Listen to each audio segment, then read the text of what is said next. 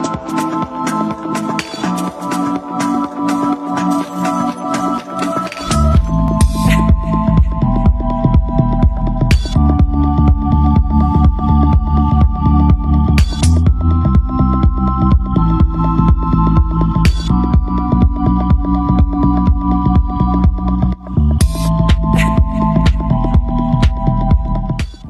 Alors le, festival est né en fait en 1999 avec trois jours consacrés au cinéma euh, australien et néo-zélandais. C'était, euh, je dirais, l'aboutissement d'un processus qui a commencé euh, en 1977 pour être précis, avec la, vision d'un film qui m'a particulièrement marqué, qui s'appelle Picnic at Hanging Rock de Peter Weir. Et depuis que j'ai vu ce film-là, j'ai eu envie de, découvrir d'autres films des antipodes du réalisateur Peter Weir. Et puis en cherchant, on trouve. Donc j'ai découvert qu'il y avait un cinéma assez fabuleux, malheureusement pas très connu. Euh, et euh, en creusant encore, j'ai vu même des films euh, qui étaient présentés dans des marchés et où j'étais tout seul dans la salle et je me disais bah, c'est dommage, il faudrait faire quelque chose. Donc je suis passé après de l'autre côté. j'ai essayé de créer d'abord un, un ciné-club à l'ambassade d'Australie puis de progresser en créant l'association Cinéma des Antipodes et de proposer des programmes de films australiens et néo-zélandais dans d'autres festivals, dont un des premiers qui est accepté, c'est le Festival de Cannes. Et là, je me suis dit, c'est bien, je suis content, mais euh, ce cinéma est perdu dans le reste du monde, donc je voudrais trouver quelque chose qui lui permette euh, d'être mis en valeur tout seul. Et c'est là qu'est venue l'idée de créer un festival du cinéma australien et néo-zélandais, donc les rencontres internationales du cinéma des Antipodes.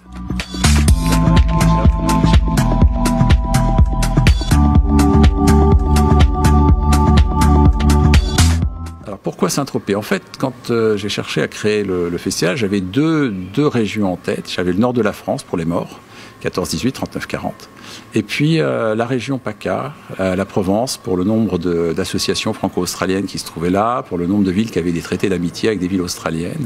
Et un jour, la présidente d'une association franco-australienne à Draguignan m'a appelé, m'a dit écoute, je connais le maire de Saint-Tropez, il cherche à développer euh, l'image euh, et euh, le cinéma dans sa, ville, est-ce que tu, tu, voudrais lui proposer ton idée de festival? Bah, J'ai dit banco, allons-y. Elle a organisé avec son mari un rendez-vous, je vais schématiser un petit peu, j'ai dit à monsieur le maire, j'ai une idée, j'ai pas d'argent, est-ce que vous prenez? Il a dit on y va.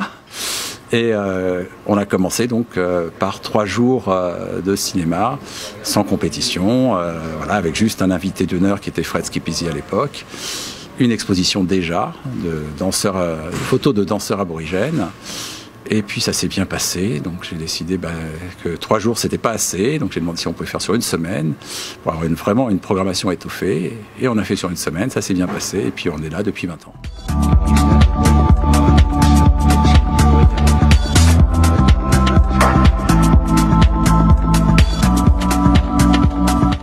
Vocation du festival, c'est de faire découvrir le cinéma australien et néo-zélandais en France. Ça, c'est la première euh, euh, chose que je cherche à faire. C'est aussi de créer des ponts, des liens entre l'Australie, la Nouvelle-Zélande et la France.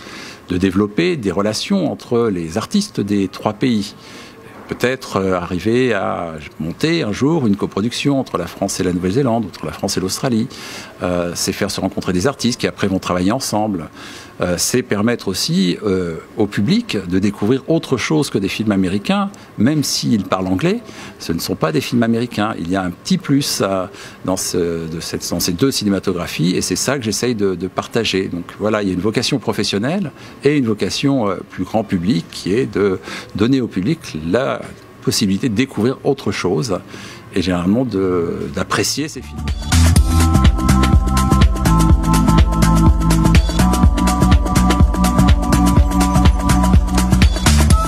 Jeanne Campion, d'abord, c'est quelqu'un euh, qu'on a présenté à chaque fois qu'elle a fait un film. Et la première fois en 1999, avec l'avant-première d'Holly Smoke. Puis on a montré In the Cut, puis on a montré Bright Star. Donc on a vraiment suivi sa, sa carrière du début euh, du festival jusqu'à maintenant. C'est aussi quelqu'un qui euh, est innovante, qui a un cinéma euh, très varié, qui a un cinéma aussi un peu non seulement esthétique mais aussi militant, qui essaye de mettre la femme hors des sentiers battus, qui essaye d'avoir une vision sur notre société, c'est quelqu'un de combatif, c'est quelqu'un aussi qui a cette qualité pour un festival des antipodes, d'avoir travaillé aussi bien en Australie qu'en Nouvelle-Zélande. Ses dernières œuvres en sont la preuve, hein. Top of the Lake en Nouvelle-Zélande, Top of the Lake, China Girl en Australie. Donc elle était vraiment parfaite pour être notre invité d'honneur pour ses 20 ans. Et puis ça fait vraiment quelques années que j'ai eu la chance de rencontrer euh, Jane Campion, qu'on a pu un peu discuter ensemble, que j'avais aussi des amis qui, sont des amis de Jane Campion. Euh, voilà, il y avait tout un ensemble, tout un faisceau qui faisait que c'était l'invité parfait et c'était surtout euh, pour nous une chance extraordinaire que d'avoir Jane Campion accepté de venir en, en France, à Saint-Tropez, pour le Festival des Antipodes, alors que jusqu'à présent, bah, elle était allée à Cannes, une palme d'or avec pile, une palme d'or avec la leçon de piano, euh, la présentation en avant-première de Top of the China Girl en intégrale au Festival de Cannes. Voilà, elle avait été, euh, j'allais dire presque de tous les festivals de Cannes. Euh, et là, qu'elle accepte de venir dans notre festival, nous soutenir aussi, parce que je pense qu'il y a un soutien du, cinéma australien et néo-zélandais, c'est vraiment quelque chose d'assez formidable et je suis vraiment ravi qu'elle ait accepté d'être euh, avec nous.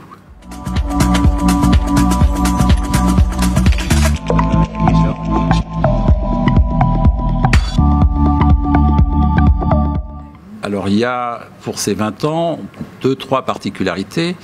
Euh, la première, c'est qu'on a décidé de faire un focus sur la Nouvelle-Zélande et qu'il y aura donc un jour dédié au cinéma néo-zélandais, le mercredi, avec euh, la présentation d'un classique, par exemple, Goodbye Pie.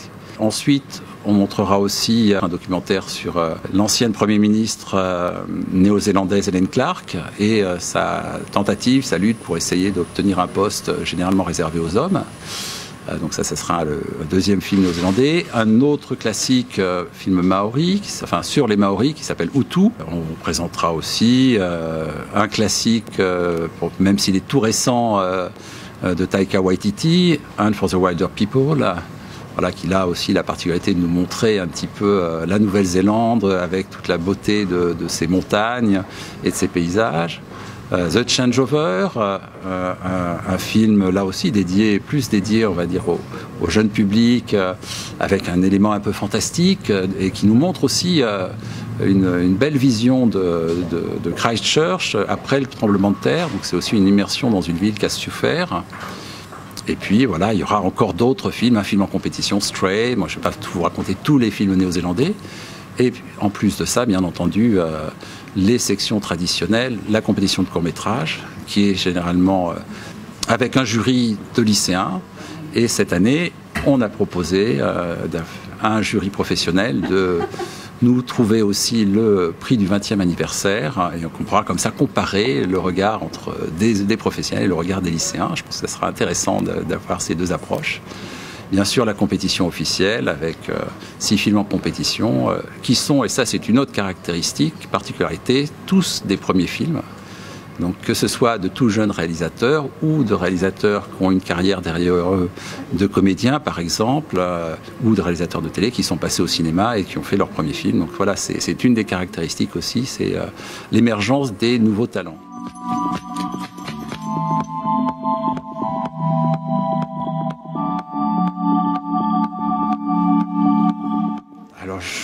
Je dirais, c'est euh, euh, oui, peut-être une coïncidence, je ne sais pas. On est en fait quand on est euh, arrivé à Saint-Tropez en 1999 avec le festival, il y avait d'autres événements qui avaient été créés comme le Festival de la fiction télé, qui est maintenant malheureusement pour Saint-Tropez parti à La Rochelle. Il y avait aussi TV France International, qui est parti à Biarritz, et nous qui sommes restés, voilà, 20 ans à Saint-Tropez.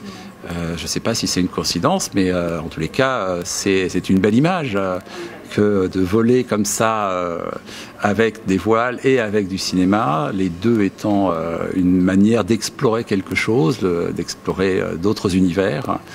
Et voilà, c'est peut-être ça aussi le lien entre, entre la, mer et, et les images et le cinéma.